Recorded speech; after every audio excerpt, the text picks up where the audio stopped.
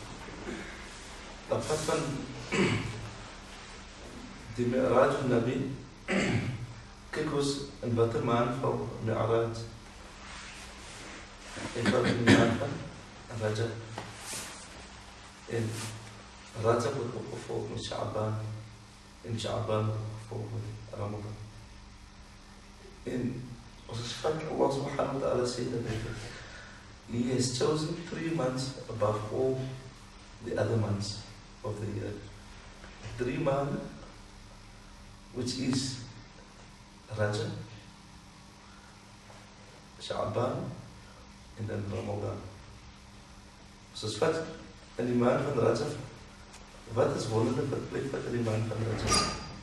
As ons kyk in die maand van Rajab as het, dat ons kry die Mi'raj dat ons Nabi Muhammad sallallahu alaihi wasallam opgegaan het om Allah subhanahu wa ta'ala ontmoet het.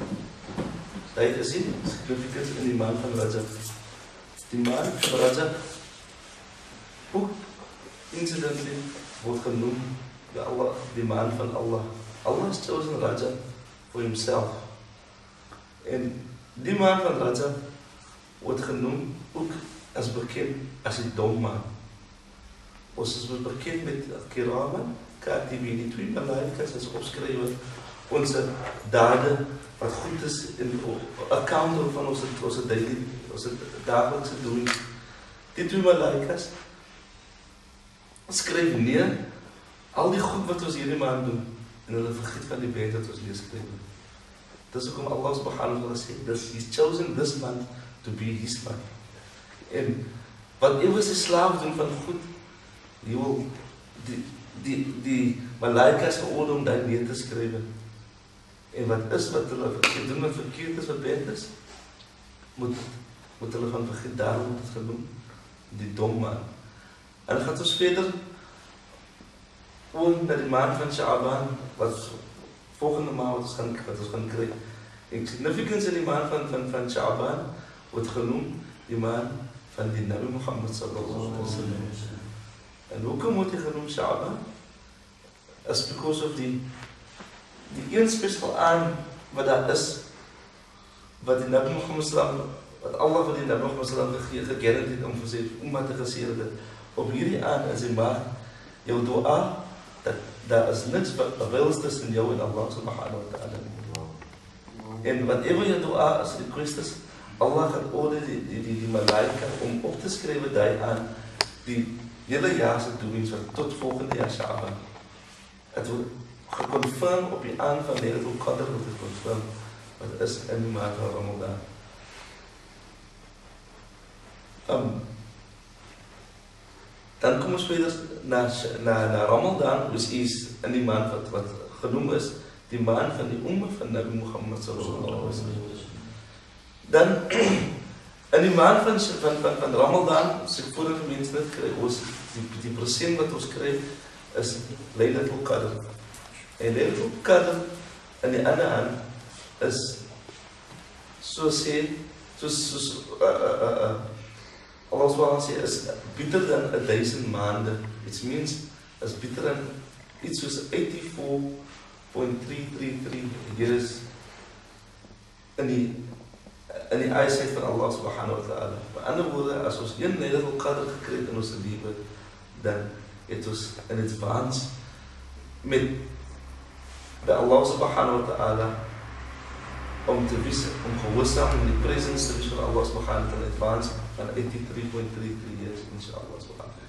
Wat is Allah ons wat in volgende jaar weer nog leer vir Hoekom ek so praat voor ons is op Mi'raj?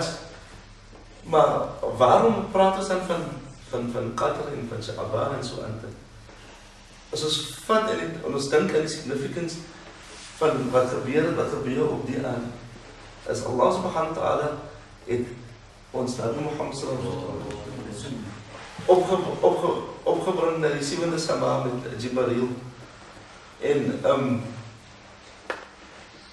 hy het gegaan, Mi'raj het opgegaan met alle woorde. En ons kyk in die lifestyle van Nabi Isa salam, hy het ook opgegaan. Allah subhanahu wa ta'ala. En ehm um, einde van die dag vra ons vir onsself, het ons sal onsself gaan Mi'raj Allah subhanahu wa ta'ala. En ons het ons hart opgesteek op ons hande het gesteek na Allah subhanahu wa ta'ala om vir Allah te sê hier is ek nou Allah subhanahu wa ta'ala. En inshallah met die dhikr wat ons gaan maak inshallah dat vir Allah subhanahu wa ta'ala dat ons ook in ons manier kan kry dat ons ons in mi'raj na Allah subhanahu wa ta'ala is. Wat dit is, ons in ons hart ons gaan op tot op in die siele te sê of hoe ewe ons kan binne sit. Allah Ta'ala will inspire us through the dhikr to get there. En met die gaat ons ons los dat as het oor as het is dat ons wil wees in advance by Allah subhanahu wa ta'ala met die by die aan van Lailatul Qadr met ander woorde ons het begin van nou af begin met die om te kom daarso. Allah het ons begin inshallah se dikir gemaak. Die dikir het 'n dryf wat hy het op die fyn dryf is hy se tyd van die dit begin sit en begin met mograak. Soos die Nabi Muhammad sal gesê het, as dit is dat ons het nou net klaar gemaak gewen in die oorlog die die die die die die die fight dat daar is nou een grotere oorlog wat nou plek vat. En hij ziet jihad dat nou plek vat, jihad en nafs. En daar is een plek wat ons, ons die shaitan met ons onszelf ons pakken en opstaan. En voor Allah moet ons zijn dikker inshallah. Allah. Zo inshallah. is maar ons daar in zijn. En dat is wat hij zegt over ons is. Ook aan inshallah. Het is goed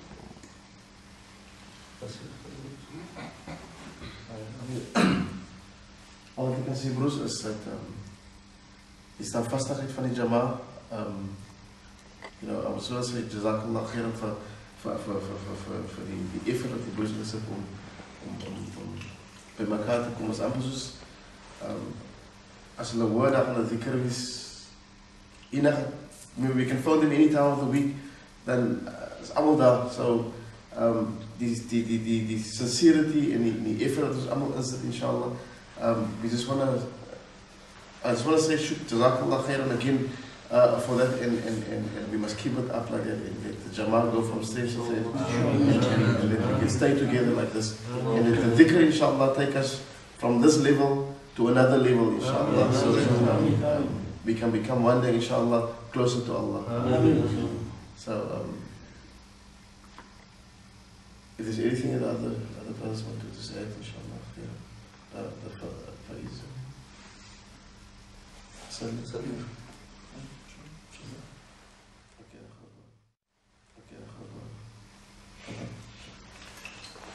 اللهم صل على سيدنا محمد وعلى سيدنا محمد.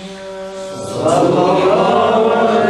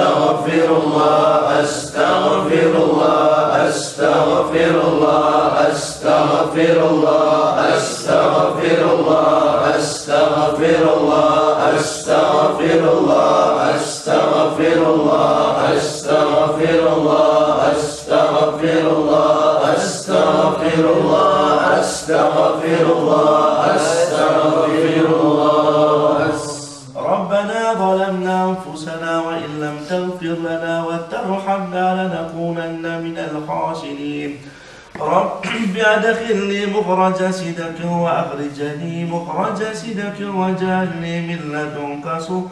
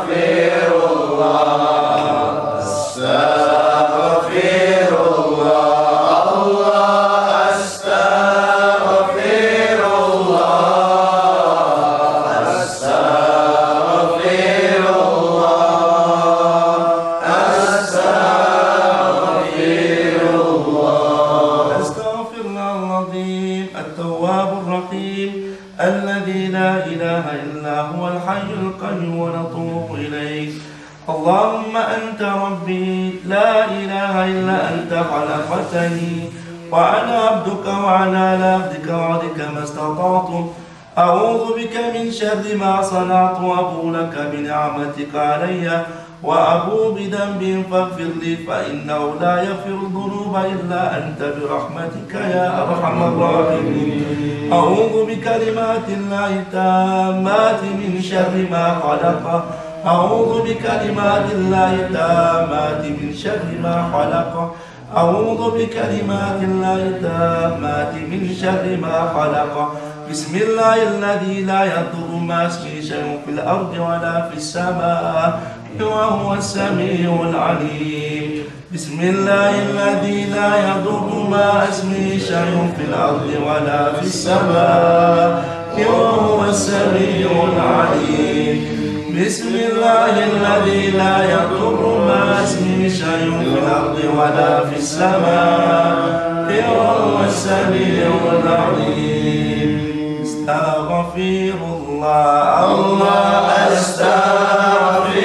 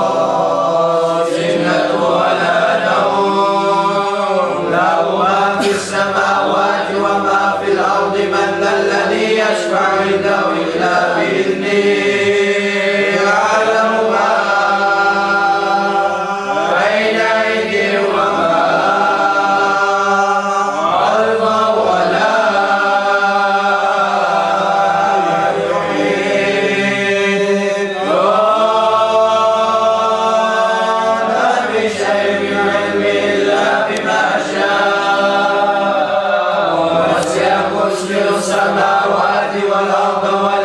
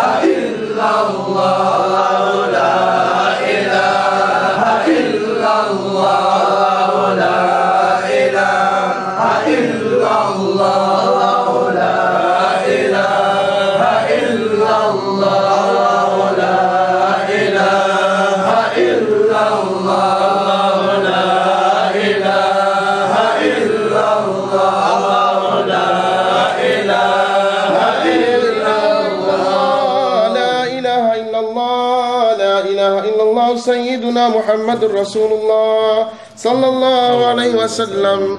كلمة حق عليها نحيا وعليها نموت وعليها وبها نبعث إن شاء الله تعالى من الآمنين. آمين برحمة الله وكرمه جزا الله عنا سيدنا ونبينا ومولانا محمدا صلى الله عليه وسلم. أنا خير بما وعدتم الله عنا سيدنا ونبينا ومولانا محمد صلى الله عليه وسلم أنا خير بما جزا الله عنا سيدنا ونبينا ومولانا محمد صلى الله عليه وسلم أنا خير بما وعدتم والحمد لله رب العالمين.